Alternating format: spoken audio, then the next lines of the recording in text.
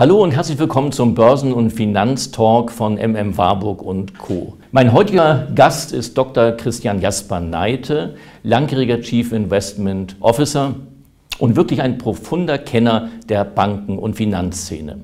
Alle reden vom Brexit wie auch. Der Vertrag ist ja mit krachender Mehrheit abgelehnt worden. Was war Ihr erster Gedanke?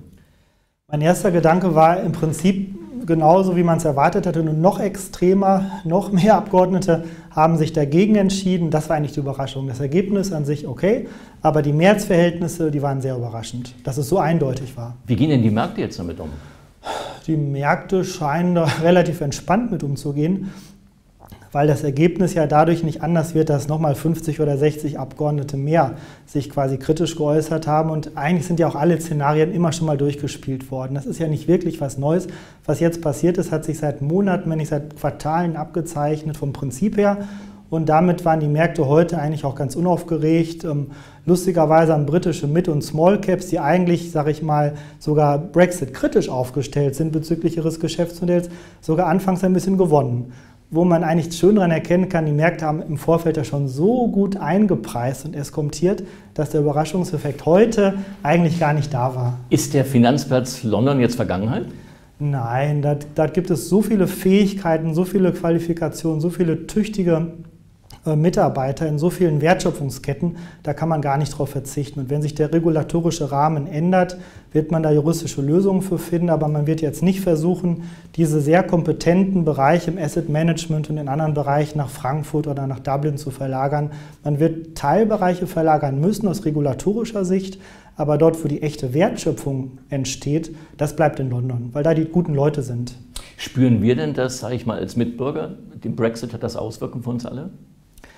Ich würde sagen, nein. Es kann sein, dass einige Güter hier und da ein kleines bisschen teurer werden, aber es wird ja, es wird ja kaum von England, von Großbritannien nach Deutschland im großen Maße exportiert. Eigentlich ist es ja andersrum. Und da ist es aber so, dass eigentlich schon die deutsche Wirtschaft vor ungefähr zwei Jahren angefangen hat, ihre Exporte aus, von Großbritannien in andere Länder zu verlagern. Wenn Sie mal schauen, wo die Wachstumsraten ja. im Moment noch sind, wo haben wir noch Wachstum deutscher Exporte?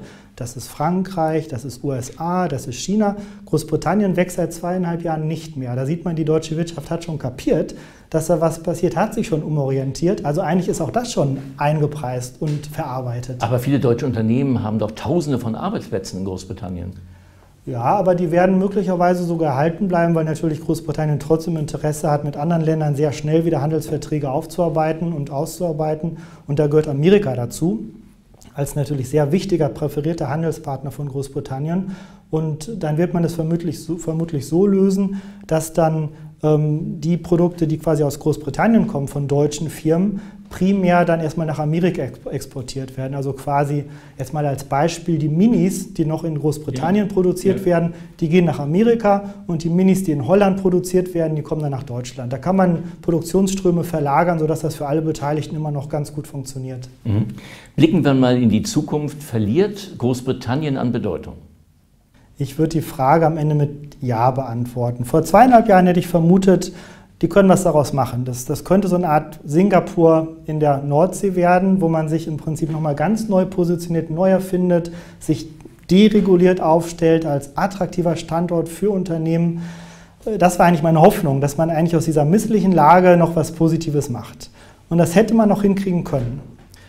Wenn man jetzt aber sieht, wie Großbritannien mit diesen Verhandlungen umgegangen ist, mit der EU, wie dilettantisch man vorbereitet war, dass man auch gar nicht verstanden hat, wie die EU tickt, also eigentlich eine Art Offenbarungsleit abgeliefert hat, wie man politisch gestaltet, das war so schlecht, da bin ich jetzt doch skeptisch, ob man dann die Herausforderung wirklich annehmen kann, um nach vorne heraus äh, aus dem Land noch was Positives zu machen. Also deswegen würde ich inzwischen vermuten, äh, ja, es wird einen kräftigen Bedeutungsverlust geben.